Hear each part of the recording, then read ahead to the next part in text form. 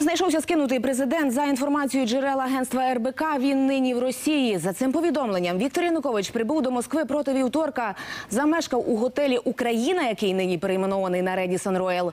Майже всю ніч пробув у місцевому ресторані. Потім перебазувався до санаторію Барвиха, що належить управлінню справами президента Росії. Утім, речник відомства Віктор Хреков заявив, що такий гість на території оздоровниці не зареєстрований. За інформацією РБК, разом із Януковичем у Москві може бути екс-генпрокурор України Віктор Пшонка.